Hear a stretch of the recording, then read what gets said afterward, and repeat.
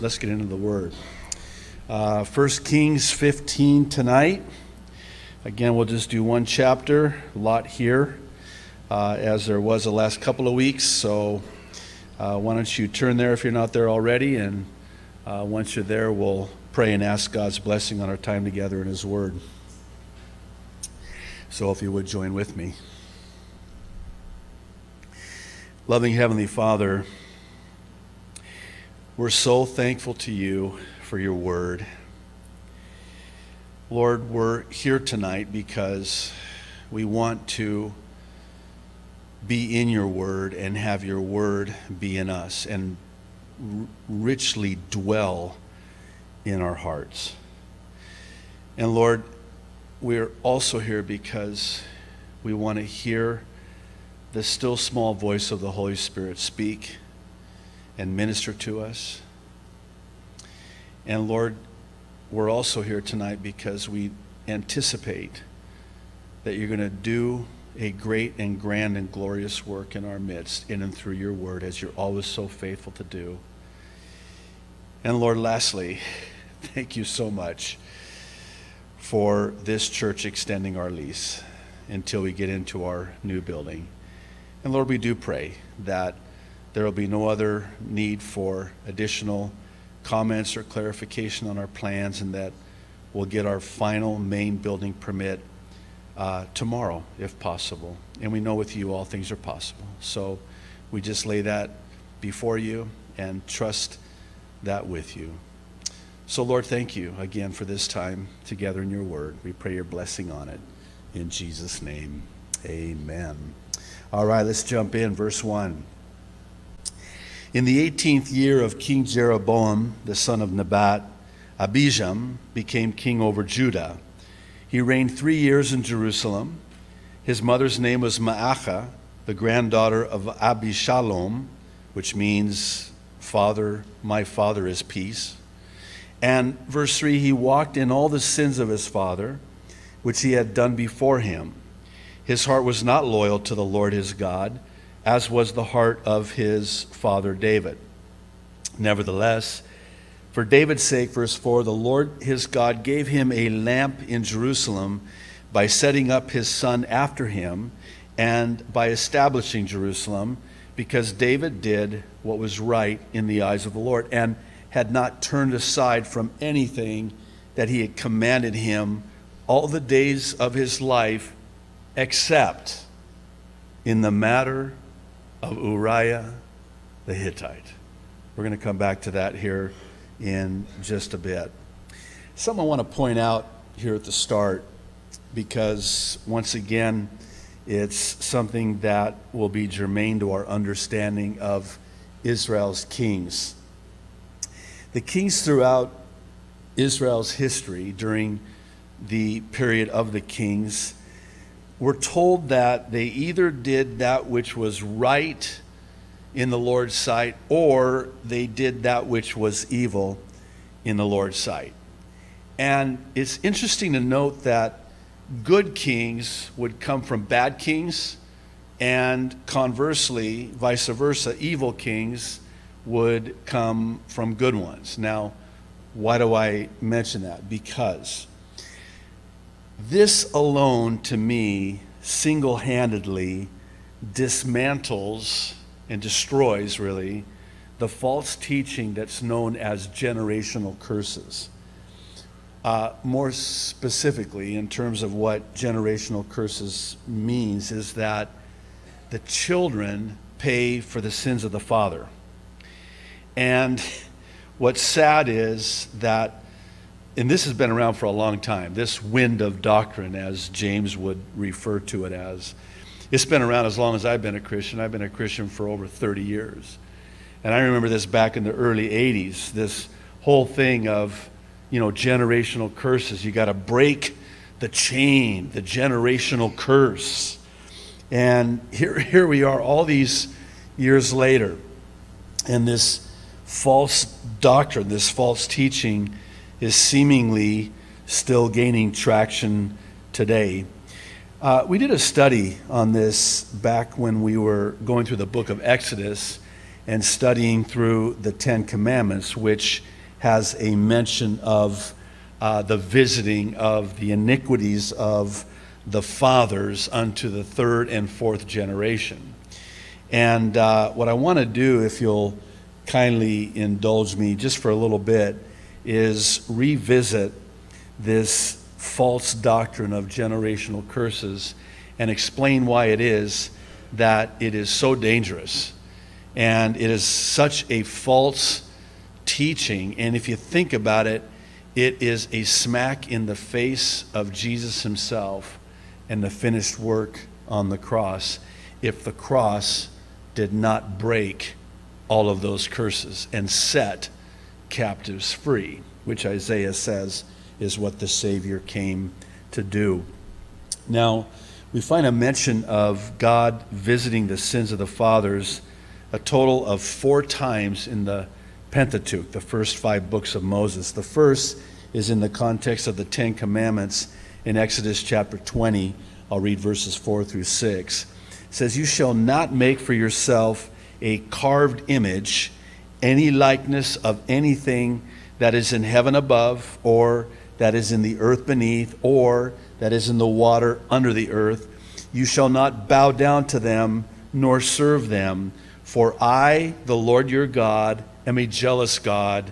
Listen, visiting, listen carefully, visiting the iniquity of the fathers upon the children to the third and fourth generation of those who hate me, but showing mercy to thousands to those who love me and keep my commandments. The second time we read it is in Exodus 34 verses 6 through 7. And the Lord passed by before him and proclaimed, The Lord, the Lord God, merciful and gracious, long suffering, and abundant in goodness and truth. That doesn't sound like punishing anybody for any curses generationally. uh, merciful, gracious, long suffering, and abundant in goodness and truth keeping mercy for thousands. Listen, forgiving iniquity and transgression and sin, and that will by no means clear the guilty, visiting the iniquity of the fathers upon the children and upon the children's children unto the third and to the fourth generation. The third time is in the book of Numbers, chapter 14, verses 18 and 19. Again, listen to the description and the character and nature of a loving and kind and merciful God. The Lord is long suffering and abundant in mercy, forgiving iniquity and transgression, but he by no means clears the guilty, visiting the iniquity of the fathers on the children to the third and fourth generation Pardon the iniquity of this people, I pray, according to the greatness of your mercy. There it is again. Just as you have forgiven this people from Egypt, even until now. And the fourth one is in Deuteronomy. And Deuteronomy, by the way, is the second record of the law. Do, Deus, Deuteronomy, the law, Deuteronomy. Chapter 5, verses 8 through 10. You shall not make for yourself a carved image, any likeness of anything that is in heaven above, or that is in the earth beneath, or that is in the water under the earth. You shall not bow down to them nor serve them. For I, the Lord your God, am a jealous God, visiting the iniquity of the fathers upon the children to the third and fourth generation, generations of those who hate me, but showing mercy to thousands to those who love me and keep my commandments. You see the common denominator in all four? Mercy, loving kindness, forgiveness. Does the Lord visit the iniquity of those generations? Yes, He does. But not for the purpose of punishing, not for the purpose of cursing, but rather for the purpose of showing mercy and kindness and grace. Well, what follows are several reasons. There are no generational curses, thank God, by the way. Uh, I think about my own father. If I had to pay for his sins, I wouldn't be standing here right now. And then my poor boys, bless their hearts, if they had to pay for my sins as their father, well, we won't talk about that. But um, this is why there are no generational curses, and this is why children are not punished for the sins of the fathers. Number one, the purpose of the Lord visiting the iniquity is to show mercy, forgiveness, compassion. And repeatedly we read that his characteristics are that he's long suffering and he's slow to anger. I love Gayle Erwin. I love Gayle Erwin. I love Gayle Erwin because he brings this out. The Lord is slow. And he keeps going because he has more breath than I do to anger, abounding in mercy. There, that's just woke up a couple of you. Anyway, welcome back. Number two, the Lord is so compassionate that he visits the children to the fourth generation, third and or fourth generation. Why? Because he knows that the effects can pass onto the fourth generation. The legacy that is left behind, the evil that is passed down, and that's why he in his compassionate mercy, visits the children to that generation. And thirdly, and interestingly, he visits the iniquity of generations of children whose father hated God, and he shows mercy to thousands of those who love God. In other words, he visits the iniquity and he shows mercy to thousands who love God. Does this mean that God turns a blind eye to the evil? Absolutely not. They get their just due. They are re- recompensed according to the works they have done, the evil they have done. It's this fourth one that I think, again, uh, speaks to the um, issue of the finished work of the cross. Um, one cannot, now think about this, one cannot be held responsible for or make payment for the sins of another save Jesus Christ. He was the only one. None are righteous save Jesus Christ, the only one who was righteous. And as such, the only one who could take upon himself the sins of mankind. I like how uh, one commentator said it. Every tub has to stand on its own feet. Of course, those are antique tubs now. The ones that had the feet, probably worth a lot of money now. Uh, number five, even if there was a generational curse, the finished work on the cross would have had to have broken it.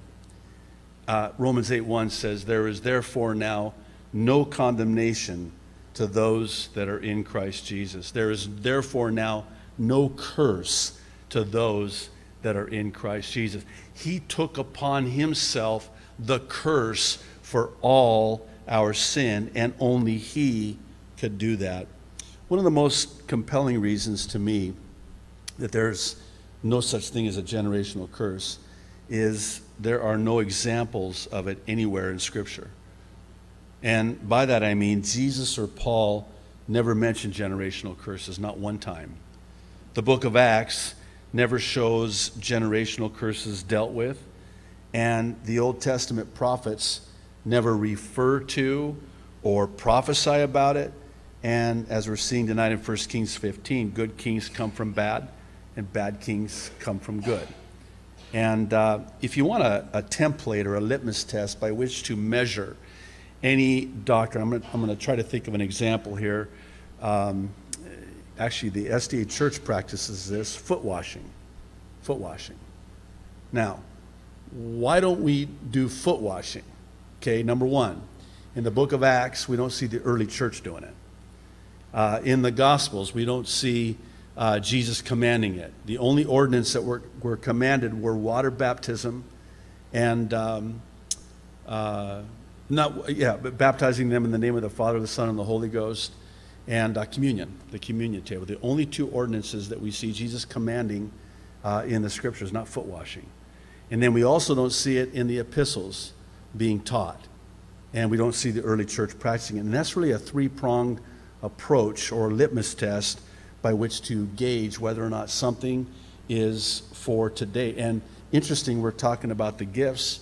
Really looking forward to um, Sunday morning. We're going to be in part three on our study the, of the Holy Spirit. But um, the gifts of the Spirit are for today. Why?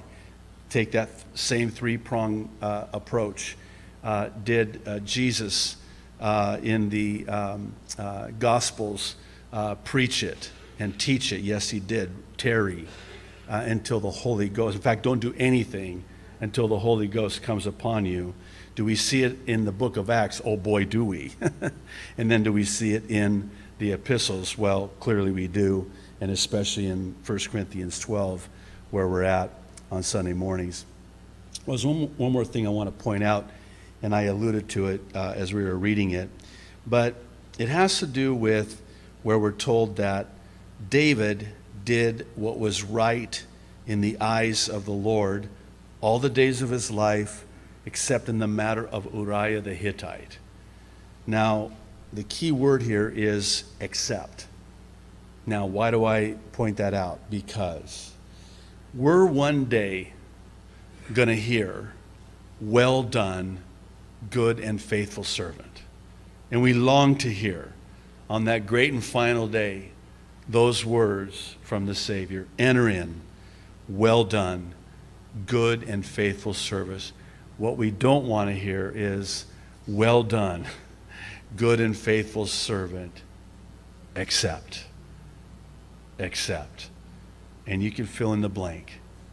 That area in our life of willful disobedience, that area in our life of sin. Well done, except. Accept. And is that possible? Yes. We see it here with David. We know David is with the Lord. Clearly, he did that which was right in the eyes of the Lord. He's with the Lord. We're going to meet him one day, soon, I believe, very soon. But there's an accept here. Does that mean that we too could hear that word accept? Yes, we could. Well, let's move on. Verse 6. And there was war between Rehoboam and Jeroboam all the days of his life.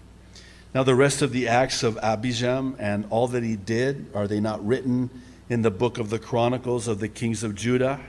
And there was war between Abijam and Jeroboam. So Abijam rested with his fathers, and they buried him in the city of David. Then Asa, his son, reigned in his place. Now, Second Chronicles 13 gives us more details about this Abijam. But it's interesting to note that in Chronicles, his name is spelled with an H instead of an M. And here's why. In Hebrew, this the name Abijah means Yahweh is my father. You don't pronounce the J in Hebrew. That's why Jerusalem is not Jerusalem, it's Yaru Shalom. Yaru Shalom peace, city or, or possession of peace. Abi is father. Abi, Abu in Arabic, Abi in Hebrew. I'm not trying to give you a language lesson here, but this is key because it's going to mean something in a moment. Um, so Abiyah means father is Yahweh, Abiyah or Abijah. Now, when we get to Chronicles, it's not Abiyah, it's Abiyam. Who's Yam? It's not Yahweh, now it's Yam. Well, in other words, his name was changed to my father is Yam, not Yahweh. Well, Yam was a Canaanite sea god. Now, here's the, the thought. One has suggested that Abiyam or Abijam started out as a follower of Yahweh, my father is Yahweh, but ended up turning away from God to this false sea god. There's the, the nature is the name, and this is a good example of it. uh, because he did do that which was evil in the sight of the Lord. Verse 9 In the 20th year of Jeroboam, king of Israel, Asa became king over Judah, and he reigned, verse 10, 41 years in Jerusalem. His grandmother's name was Maacah, the granddaughter of Abishalom. Asa did what was right in the eyes of the Lord, as did his father David. Now, remember when we talked about of all of the kings in the history of Israel, there were only nine, count them, nine, that did that which was right in the sight of the Lord. And out of those nine, only one didn't mess up. As we're going to see, even Asa did towards the end of his life. They start out great. They do that which is right in the eyes of the Lord. They too, of them it will be said, they did that which was right in the sight of the Lord, except for David, it was the Uriah the Hittite. With Asa, it's going to be something else. And with eight of the nine good kings, eight did that which was right, except there was that one thing they did towards the end of their lives that marred their whole reign. Well, it says that in verse 12, he banished the perverted persons from the land and removed all the idols that his fathers had made. He also removed Maacah, the, his grandmother, from being queen mother. Interesting. And here's why because she made an obscene image of Asherah. Granny, grandma, made an obscene image of Asherah. Who's Asherah? Remember, uh, Asherah, Astarte, where we get Easter. This was the sex goddess of fertility that was worshiped in a very sexual way. I won't get graphic. You can Google it on your own. Be careful what you'll find. The, the high places, they, basically, they were orgies. That's, I don't know how else to say it. And Asa cut down her obscene image and burned it by the brook, brook Kidron. But, verse 14, the high places were not removed. Nevertheless, Asa's heart was loyal to the Lord all his days. He also, verse 15, brought into the house of the Lord the things which his father had dedicated, and the things which he himself had dedicated silver and gold and utensils. Now there was war between Asa and Baasha, king of Israel, all their days. Um, this is one of those places in God's Word where it can be really easy to read past something and miss the valuable personal application that's in it. And what it is, is, and you see it there on the screen, is that Asa does this against his own family. You have to understand that even today in the Middle East, in this culture, this is unthinkable. you never do anything against your own family, especially an elder. Father, grandfather, for him to do this would have been unthinkable and extremely difficult.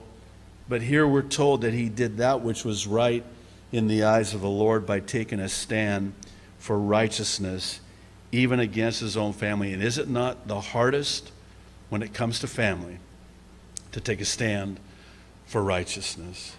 He burns down. I mean, I, am trying to wrap my mind around his grandmother doing this. That's, that's, I don't even want to think about it. That's just weird. But anyway, verse 17. And Baasha, king of Israel, came up against Judah and built Ramah, that he might let none go out or come in to Asa, king of Judah. This is like a blockade. Then Asa, verse 18, took all the silver and gold that was left in the treasuries of the house of the Lord and the treasuries of the king's house, and delivered them into the hand of his servants. And King Asa sent them to Ben Hadad, the son of Tabrimmon, the son of Hezion, king of Syria, who dwelt in Damascus, saying, let there be a treaty between you and me, as there was between my father and your father.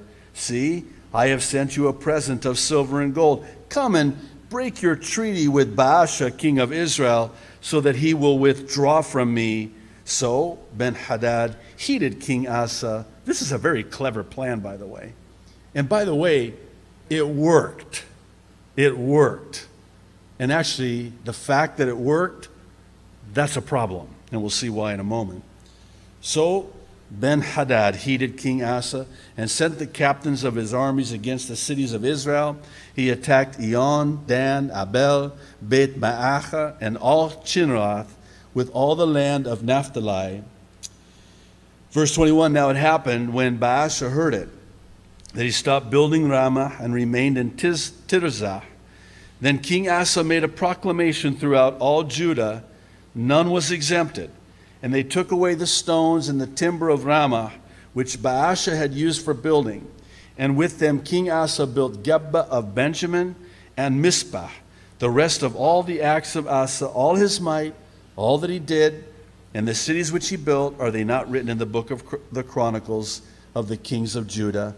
But in the time of his old age, he was diseased in his feet. So Asa rested with his fathers and was buried with his fathers in the city of David, his father. Then Jehoshaphat, his son, reigned in his place. We'll come back to Jehoshaphat in a minute. But here again, we have more details that are provided us in Second Chronicles. And by the way, when we get to Second Chronicles, we're going to revisit this and get more into this. But I do want to talk about uh, some of the details in Second Chronicles because it's a passage that I think is familiar to uh, most, if not all of you. Uh, this was King Asa's downfall. He relied on an alliance instead of relying on God. Early in his reign, when he was not strong militarily, he had to rely on the Lord against this Ethiopian army, a million man strong. He had no other choice. And is that not usually the case? When you don't have any choice, you have to, you're forced to trust the Lord, put your faith in the Lord, rely on the Lord. When you have no money to pay the rent, you're forced to trust the Lord. Well, as he grows militarily, God blesses him and prospers him. He becomes strong. He doesn't need to rely on the Lord anymore. And that would end up being his downfall. I want to uh, uh, read for you Second Chronicles chapter 16 verses 4 through 13. You're uh, surely uh, welcome to turn there and follow along. It says, now, that, again, this is a lot more details are uh, filled in, a lot more blanks are filled in. So Ben Hadad heeded King Asa and sent the captains of his armies against the cities of Israel. They attacked Ion, Dan, Abel, Maim, and all the storage cities of Naphtali. Now it happened, when Baasha heard it, that he stopped building Ramah and ceased his work. Then King Asa took all Judah, and they carried away the stones and timber of Ramah, which Baasha had used for building, and with them he built Geba and Mizpah, basically parallel account from what we had in Kings. And at that time, this is not in Kings, Hanani, the seer, came to Asa, king of Judah, and said to him, Because you have relied on the king of Syria and have not relied on the Lord your God, Therefore, the army of the king of Syria has escaped your hand. Were the Ethiopians and the Lubim not a huge army with very many chariots and horsemen? Yet, because you relied on the Lord, he delivered them into your hand. And this is the verse that is very uh, well known.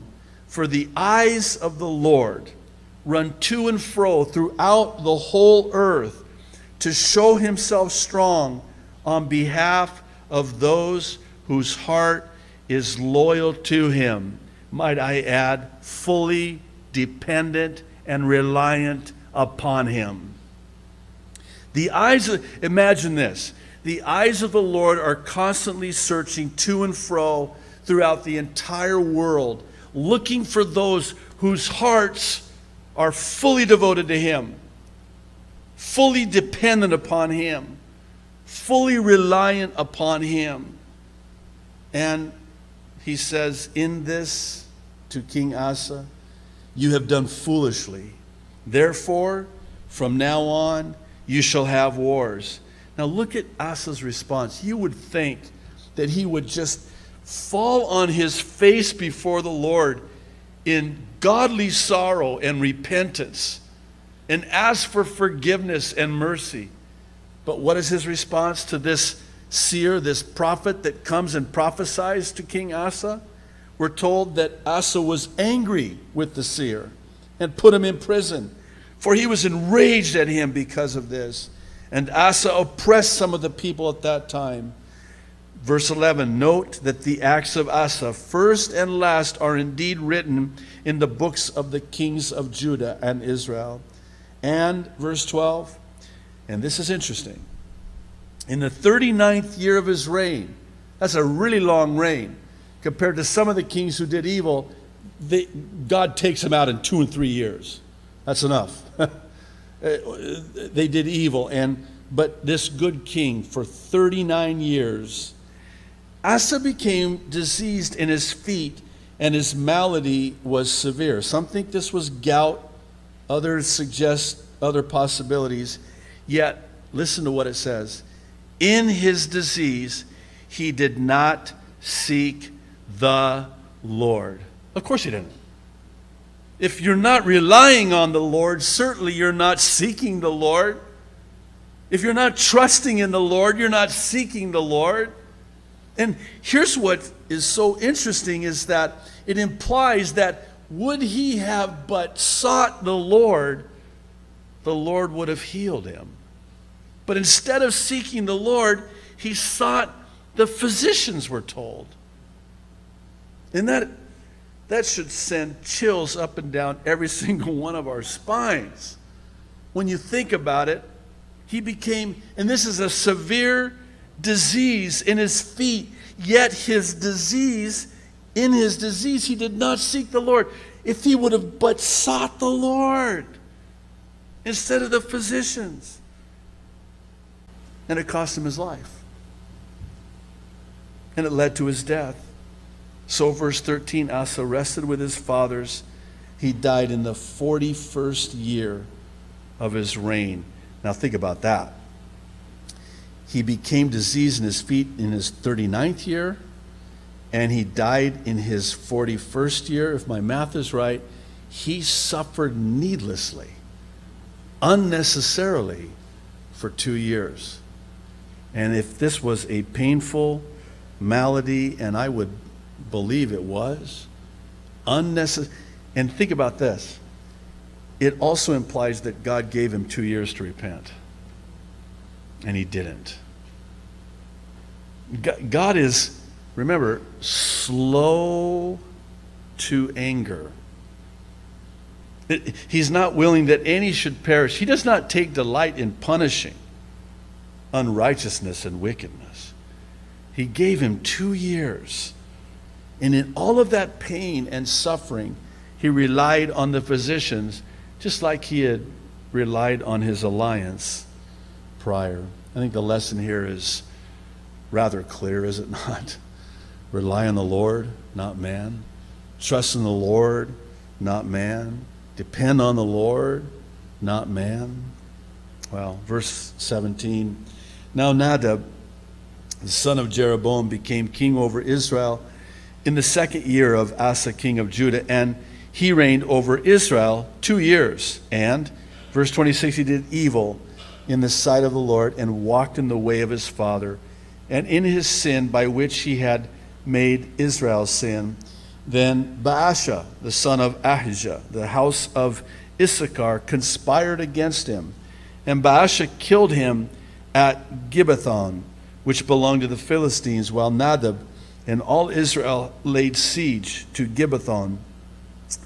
Verse 28 Baasha killed him in the third year of Asa, king of Judah, and reigned in his place. Keep in mind now, we've got two kings, the northern tribes and the southern because the, the kingdom has been split and it will remain split for the rest of Israel's history. Verse 29 And it was so when he became king that he killed all the house of Jeroboam. He did not leave to Jeroboam anyone that breathed. Does this sound familiar, by the way? Does this sound like a prophecy, by the way? Until he had destroyed him according to the word of the Lord which he had spoken by his servant Ahijah the Shilonite, because of the sins of Jeroboam, which he had sinned, and by which he had made Israel sin, because of his provocation with which he had provoked the Lord God of Israel to anger. That's interesting, isn't it? That we have the propensity as God's people to provoke God to anger. Does that mean that God doesn't love us? No. Think about with your own kids. You can become angry with them, but you still love them. Liking them, that's a different uh, story, but you, you can. They, let's move on. Verse 31. now, the rest of the acts of Nadab and all that he did, are they not written in the books of the chronicles of the kings of Israel? And there was war between Asa and Baasha, king of Israel, all their days. In the third year of Asa, king of Judah, Baasha, the son of Ahijah, became king over all Israel in Tirzah and reigned 24 years. That's a long time to be evil. Because we're told in verse 34 he did evil in the sight of the Lord and walked in the way of Jeroboam and in his sin by which he had made Israel sin. So the chapter ends with the first of what will end up being a total of nine dynasties that ruled Israel over a period of about 250 years. And here's what's sad these dynasties, with the exception of a few, led Israel into unspeakable evil against the Lord, and it's evidenced pretty graphically, in graphic detail, by Israel's history. I think the takeaway tonight is very simply this by way of a personal application. You can never, ever underestimate the importance of walking in obedience. And I know I have been saying it almost every week for the last three weeks now. But the one thing that we can give God that He does not necessarily have, God has everything, God knows everything. The one thing we can give Him that He doesn't necessarily have is our obedience. Our obedience. And when a child of God walks in obedience and walks in a way that is pleasing in the sight of the Lord, I picture God just finding that irresistible. He cannot resist it. He just blesses that life. He blesses that life abundantly, exceedingly abundantly, above and beyond anything that could ever be imagined, let alone asked. And we see it throughout Scripture. God blesses obedience, but God cannot bless disobedience. Why don't you stand? We'll pray. Lord, thank you again for your word and for the lessons that we can take home with us tonight from this chapter. Lord, we can't leave it there, though, as sometimes is our tendency to do. We need for you, by the Holy Spirit, to begin that process in our lives, to begin to apply this to our lives. Lord, we want to be numbered amongst those of whom it is said, they did that which was pleasing in the sight of the Lord. And Lord, let there never be an except to that. Let there just be a period on the end of that. Let there not be anything like except or however or but or if. Lord, we want to please you. We want to walk in obedience with you. And Lord, we thank you. In Jesus' name, amen.